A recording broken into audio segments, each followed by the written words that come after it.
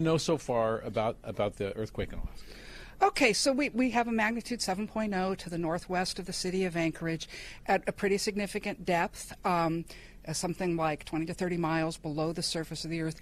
It's in the slab. So, for people who understand plate tectonics, we have the Pacific Ocean going underneath Alaska. And at the interface, you get the really big earthquakes, the 9.2 back in 1964. But as the slab goes down, it's now getting released a little bit, and we have a normal fault sort of spreading out the slab as it goes down. So this is a much smaller earthquake than 94, or excuse me, than 64.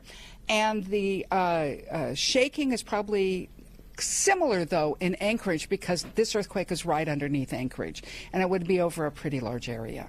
Now, it's a little too early for us to get clear uh, reports of injuries or the scope of the damage, but we do see from TV studios, we see video of uh, disruptions inside the building, we see roads that have been impacted, and we also see reports of fires. Now, this is precisely what you have told us we need to be prepared for in the event of the next big earthquake. Well, and it's precisely what we saw in Northridge. I mean, Northridge is not a bad comparison for this earthquake. This earthquake 7.0, Northridge is 6.7, so there's something like three times as much energy being released in this event.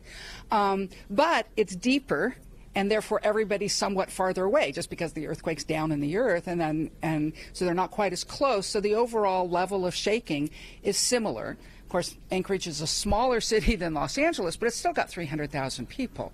So everything that we've seen fires getting set off basically everything thrown off of any shelf that's available good buildings built to code doing fine, old buildings being damaged. That's all. It's what we see every time.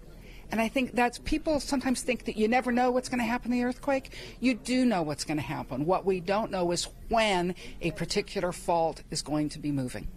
Let's take a look at the map that shows us where the shaking was. So what do we see? here? Okay, well, this is showing us the epicenter rather than the shaking itself. So this star is the epicenter of the magnitude 7. By comparison, here's the fault that produced the 9.2 in 1964.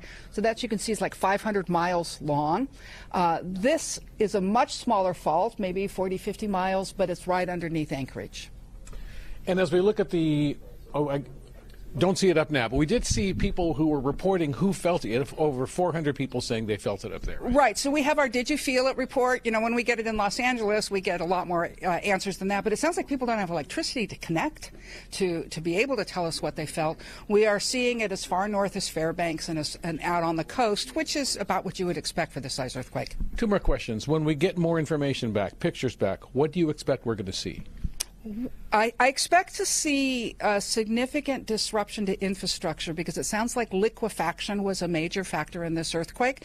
That's a situation where you shake a, a loose soil, it compresses. If there's water in that soil, as the soil compresses, the water gets compressed, it acts like quicksand. And quicksand does a really bad job of holding up buildings. So we see a collapse of structures. You can have a really well engineered structure, but if the ground disappears underneath you, that's a major issue.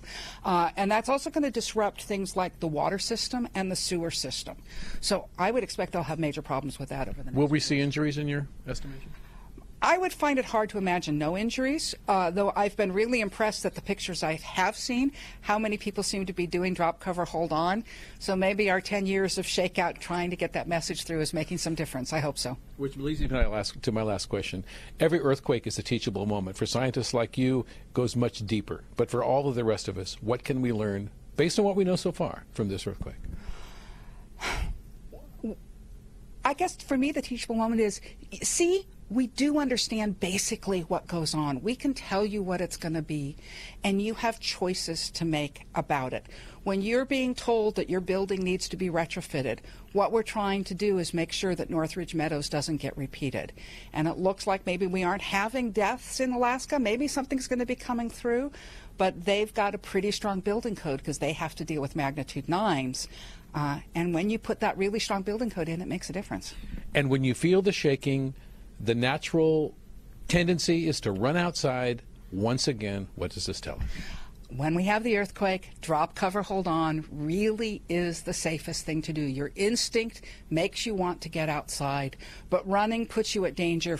You're running through things that are being thrown off of shelves. Look at how much stuff's on the ground. If you're running through that, it's going to be, you know, hitting you as you try to run running during a big, strong shaking, you fall, you sprain your ankles, you break your legs. Uh, we've had people die from trying to run in earthquakes. And seeing all these people do drop, cover, hold on is really encouraging. I hope everybody was taking notes. Lucy Jones.